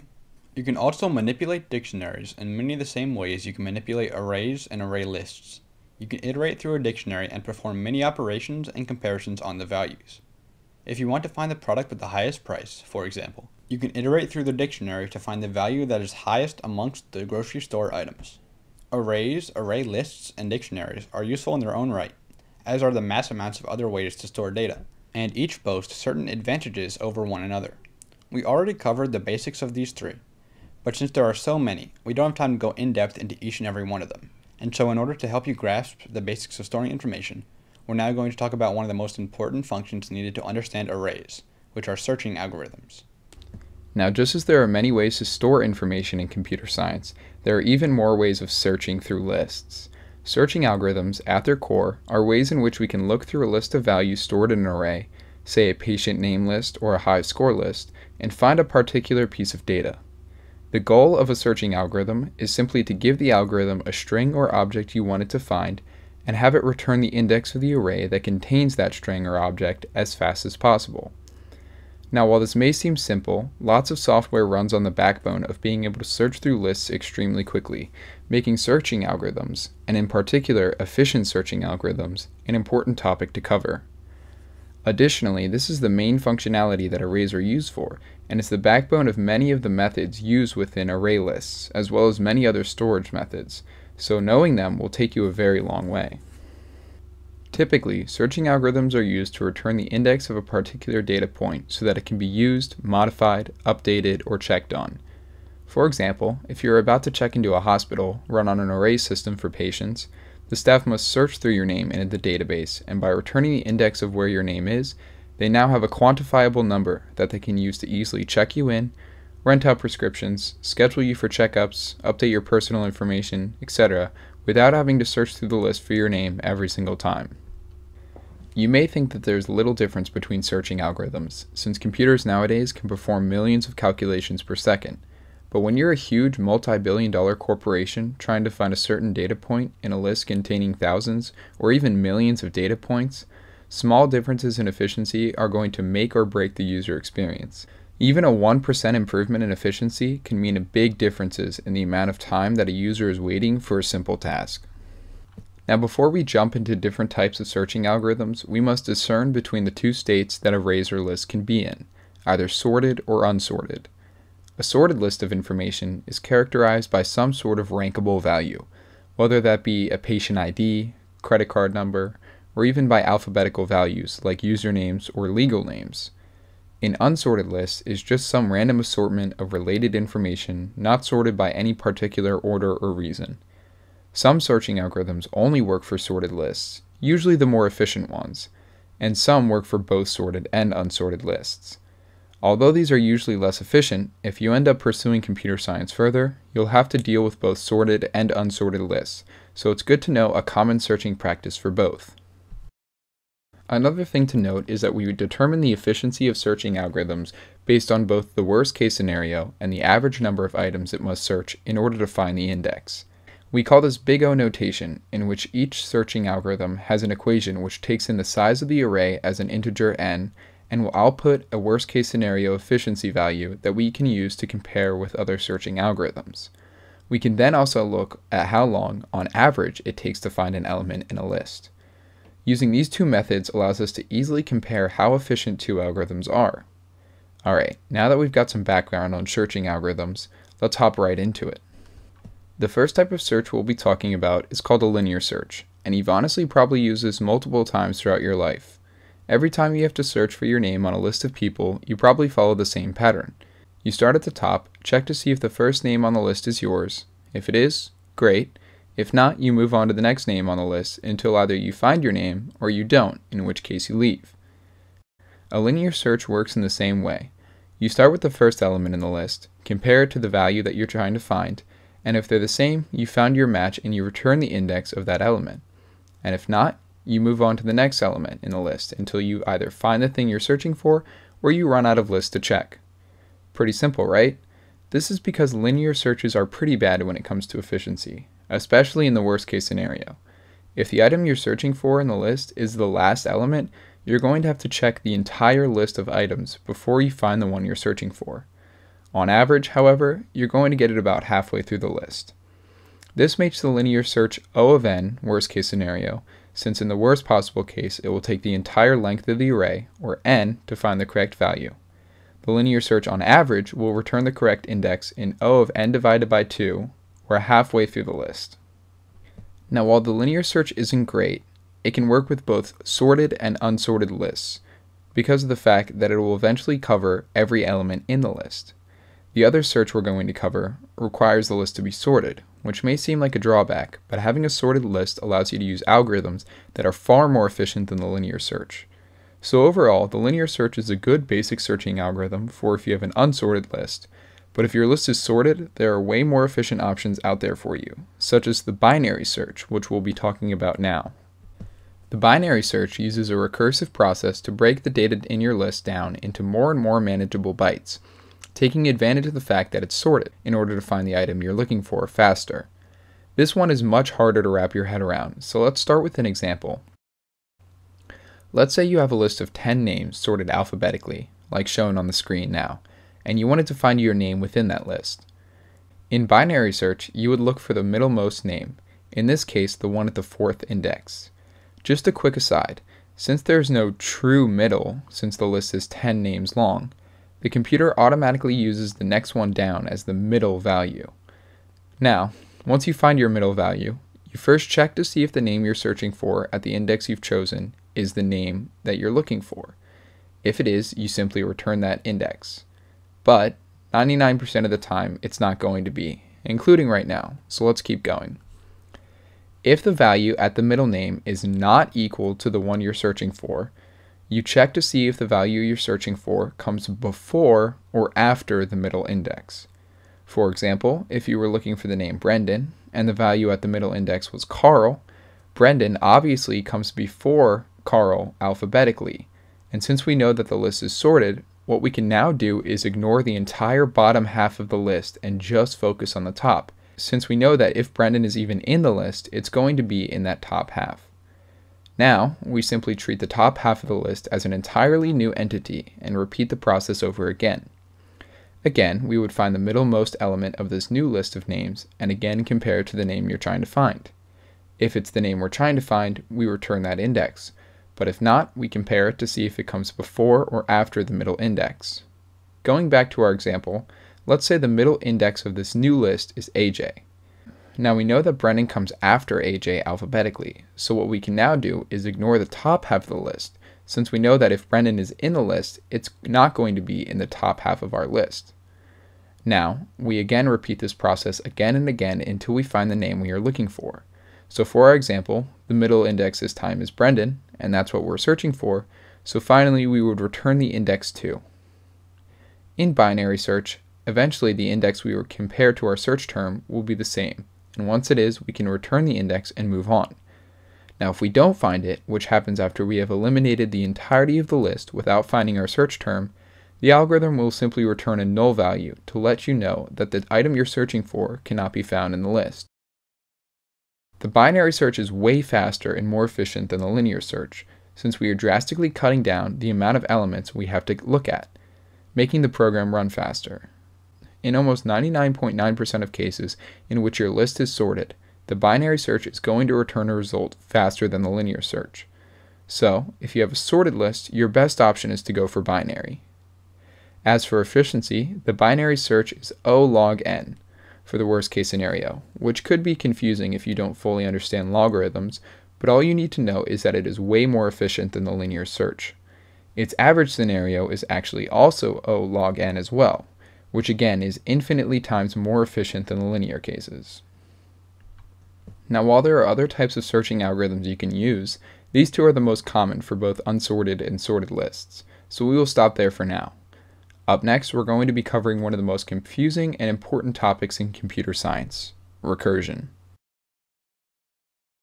Let's start with the most important question. What exactly does recursion mean?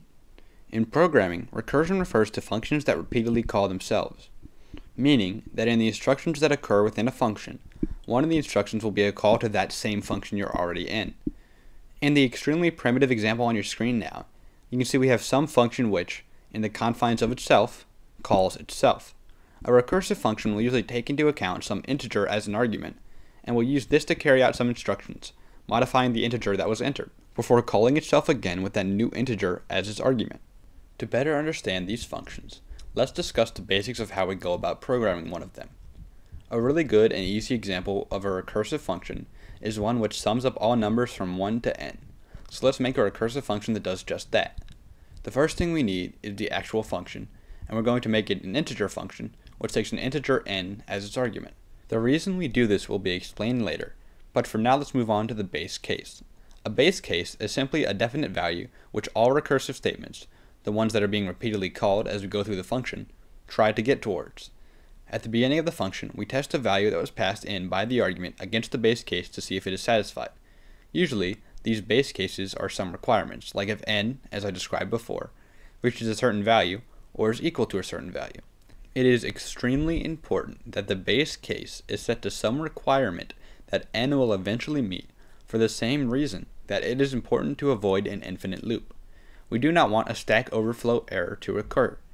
For example, if our base case was to stop calling the recursive function when n was greater than 100, and if it is not, we will call the same function again but with n minus 1, and we started with n as, say, 99, we would never reach the base case, and the recursive function will repeatedly call itself over and over again, subtracting 1 from n, and hoping that somehow it will eventually be greater than 100, until your computer crashes. Not fun. So anyways, back to our recursive sum example. Let's make our base case when n is less than or equal to 1. This way, we can start at some positive integer n and subtract from it until it is less than or equal to 1, in which case we can exit the recursive statement. Cool. Now, if n is not less than or equal to 1, what we want to do is return the sum of both n and then the returning value of our recursive sum method minus 1. Why do we add n and the function call? Well, let's actually go through the function as if we were the computer and see why. We start with a call of recursive sum with n equals 3. We know that 3 is not less than or equal to 1, so now we try to return a recursive sum of n, which is 3, and the returning value of recursive sum with an n of 2. We don't know what the returning value of recursive sum with an n of 2 is, so we have to go through the function again, only this time n is 2. Again, n is not less than or equal to 1, and so this function will go through the else statement and return 2 plus another recursive statement, in this case the returning value of recursive sum with an n of 1. So once again, we have to go through the recursive sum function to get that value that will be added to 2, and then returned and added to 3, and then returned. Hang in there, we're close. Now in this function, n is less than or equal to 1, and so we return n, which is 1. Now we take that n, which again is 1, and that is what gets added to 2 in the previous function call, and then returned. So this would return 3. Now this 3 is what gets added to the first function call, which is 3, and so it becomes 3 plus 3, which is 6. And finally, after all that time, we get 6 returned from the function, which, if you've been following along at home, 3 plus 2 plus 1 is, indeed, 6. Now this may seem like a waste of time since 3 plus 2 plus 1 is not a hard operation, but to those of you saying that, I ask you to please give me the sum of all the numbers from 1 to 3567. Godspeed. Now recursion is a very difficult concept to wrap your head around, so if you're not 100% comfortable with it at the moment, feel free to rewatch this section of the video in order to better familiarize yourself with it. Alright, cool. Now that we have a little background on recursion, let's talk about why it works so well. Now to understand why and how recursion works, we must first understand what a stack is. A stack is a data structure that contains all of the tasks you instruct your program to complete. Based on a certain method, your program will then carry out the tasks you give it. It's called a stack because if we start another process before the previous one completes, the process is stacked on top of the other one, such as the animation on your screen is showing now. Programs we write will follow the LIFO structure. For those unfamiliar with accounting, LIFO means last in, first out or the last item put on the stack will be the first one removed from it. Essentially, every time you ask your computer to complete a task, that task is added to the stack, and will be the first one to be resolved. Think of it like a stack of stones. You can keep adding stones on top of your pile, but in order to get to the one at the bottom, you must first remove all the rocks on top of it. Now when your function continually calls itself without end, without a base case, like in our infinite loop example, then the stack will never be resolved, as items will be continually added to the stack without any of them ever being completed. In this case, the memory allocated to the stack exceeds the maximum allowed, and a stack overflow error occurs, resulting in your program crashing. Think of this as if you're doing chores, and before you complete one chore, you get called to do another chore, and then before you can complete that one, you get called to do another one. Since you keep stacking tasks, or chores, on top of one another, the stack of tasks will never be completed, and you will probably die before ever finishing all of your chores. This is the same logic that makes infinite loops crash your program. Recursion works on these same principles. The initial call makes a second call, which is added to the stack, and now that one must be taken care of first. But in that one, another function is called, which gets added to the stack, and so on until you reach the base case in which you slowly start going back down the stack. In conclusion, recursion in general is extremely useful because by calling the same functions repeatedly, it breaks down the problem into smaller sections and results in the program being more efficient.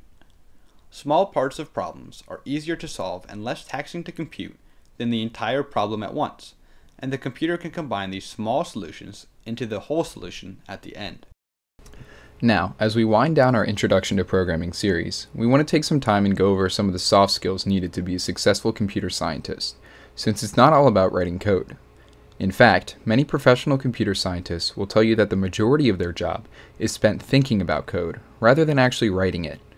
This is because much of programming boils down to problem solving. How do we optimize this system? How can we make this feature for our app?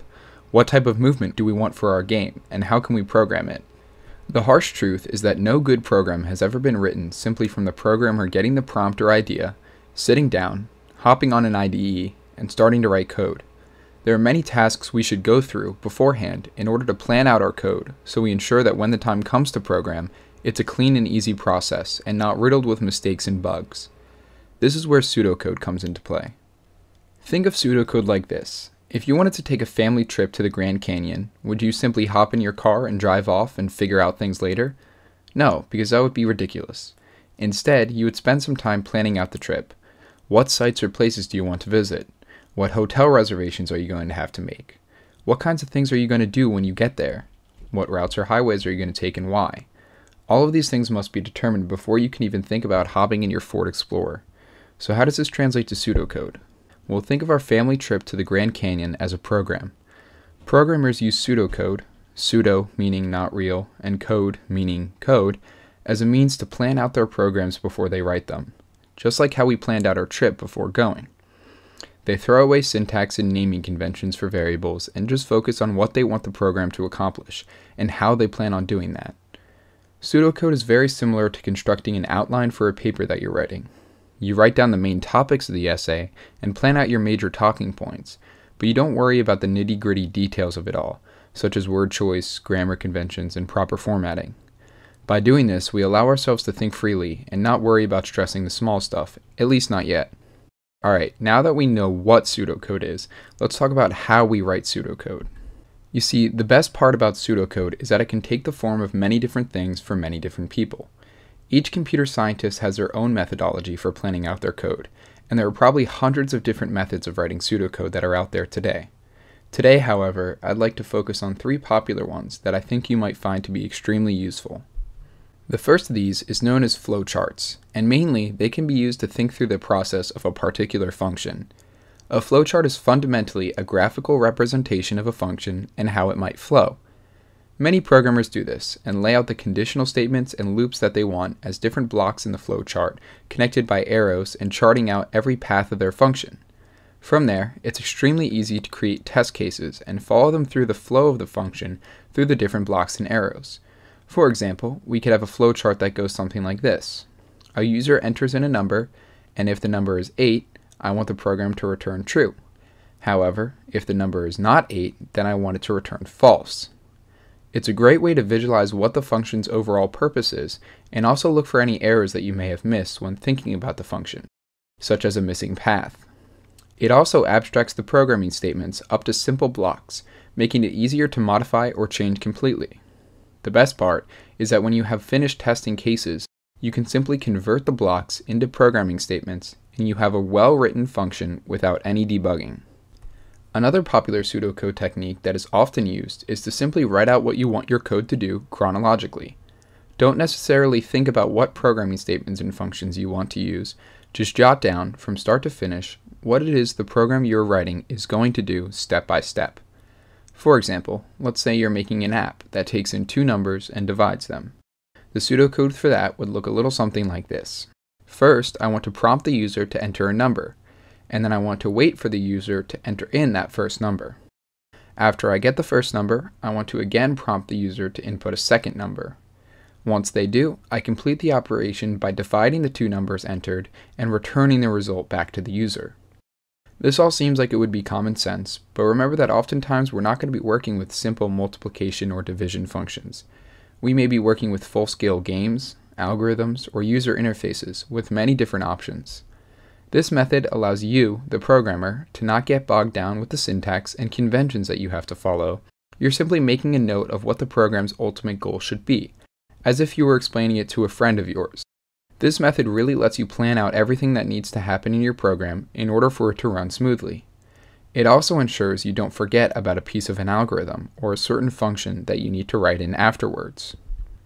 And the final pseudocode strategy that I'd like to talk about to you today is writing out the main features you want the user to have when using your program, and what functions or smaller programs you're going to need to complete these features. Let's do another example. Say you're making a banking interface, and on startup, you want the user to initially have two options. They can set up a new account or log into an existing account. From there, if they log into their account, then you want them to have the functionality to withdraw money, deposit money, take out a loan, or pay back a loan. If they decide to set up a new account, you want them to be able to create an account, store their information in a database, and then access all of the features that a returning member would have. This may look very similar to the flowchart method, the only difference being that this is abstracted one level higher over an entire program rather than just a single function. If you really wanted to, you could also create a flowchart that would go through the functionality of all the four methods described above. Setting up a hierarchy, like seen on your screen now, makes it easy and clear to see every function and interface you're going to have to make. This prevents you from having to try to shoehorn a function or feature into an already finished program at the last second, which is not a very fun experience in the slightest. So there you have it, three pseudocode strategies you can use to plan out your code before you even start writing any. The flowchart method, which is good for thinking through the flow of a certain function, the write-up method, which is good for getting the general idea down for a program, or the functionality planning method, good for listing out the functions of a certain program. You can use all of them, none of them, a mixture of them, or even disregard these and find and create your own pseudocode methods. The main goal here is to drastically minimize the amount of errors that occur during your program and relieve a lot of stress on your head. The importance of pseudocode cannot be stressed enough, and if you don't believe me, I urge you to try to complete a large project without it. Okay, so if you've watched the series up until this point, you've gotten a pretty good understanding of many aspects of programming and also how to plan out your programs. Now it's time to go out into the real world and write some actual code. But what kind of program? I can hear you asking me. And the answer is truly whatever you want, really. As I'm sure you know by now, you can program just about anything you have on your mind, anything from simple games to complex software. This video has equipped you with the basics that are going to need to be used in pretty much any program you decide to write. But that doesn't mean that every programming language is perfect for every application. Each language has its own strengths and weaknesses, and choosing the right one is very important for making it easier, and sometimes just even possible, for you to program what you want. So that's what we are going to be talking about now, choosing the best language for what you want to accomplish. Now, we talked earlier about low-level versus high-level programming languages. In case you forgot, let's do a quick refresher. Higher level programming languages have a higher level of abstraction from machine language, that series of zeros and ones from way back when, while lower level programming languages have a low level of abstraction from machine language. For example, block programming where you can drag and drop programming statements together like 2D Legos would be a high level language, as it does not take a high level of understanding of the inner workings of a computer to program it. The theoretical highest level of a programming language would be if I could just write down what I wanted the computer to do in simple English and it would just work. But, sadly, that doesn't exist yet. On the other side of the spectrum, the lowest level programming language would be just feeding zeros and ones into the computer at supersonic speed, which would be almost impossible and extremely absurd. So, how do you choose what type of language is best for your needs? Well, it depends on what you are trying to do, as sometimes you need very specialized languages to get done what you want. The world of computer science is vast and contains many fields, so trying to cover everything in one language would be impossible. This has led to the creation of hundreds of different programming languages, each designed for a specific task. Right now, though, we'll cover some of the most popular languages and their uses. Now, if you are trying to design a website, using HTML and CSS is probably your best bet. HTML is a markup language that is designed for writing the content of a website, while CSS is great for designing the style of the website. You interact with HTML every day, and you can even see it right now if you right click and hit Inspect Element. This will truly show you how complex HTML and CSS can be. Maybe it would be best for you to use a scripting language. A scripting language is a language that has many commands for you to use, and that can also be run without needing to be compiled. Scripts can be faster to write than most programs, and tend to be easier to port between operating systems, allowing for cross-platform support. Scripts can also be used with websites, oftentimes adding to the overall user experience of the site. If you want to go into web design, this might also be a path for you to go down. Examples of scripting languages are Perl, PHP, Ajax, and JavaScript. For most programs, you could probably use a general purpose language. General purpose languages, as they sound, have a wide range of applications. Usually, these should be your go-to languages. Examples of general purpose languages are Java, C++, and Python. They each have their own different benefits over one another. Java is very useful for developing games and interactive web pages. Python can act as a scripting language for web programming as well as writing applications and data analysis. And C++ tends to be used for writing applications and system programs. They all have a variety of packages that you can import and use to achieve the functionality you need from them. While selecting the right general purpose language for your big projects is very important, for most of your programs, any one of them will work.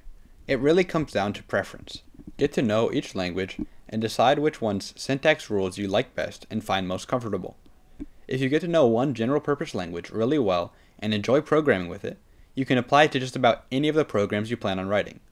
Personally, I tend to use Python for most of my projects. This is mostly not due to any functional difference between Python and any other general purpose language, though there are a few, but it is mainly because I find its syntax rules most convenient and easiest to write programs with. Overall, either you can consider the project you plan on doing and research and see which language boasts the most advantages for your purposes, or you can simply become comfortable with a language and use it for most of the programs you decide to write. We'll now be looking at our final topic of this Introduction to Programming mini-series. You now have the basic knowledge of programming, which will take you far in any language that you decide to learn.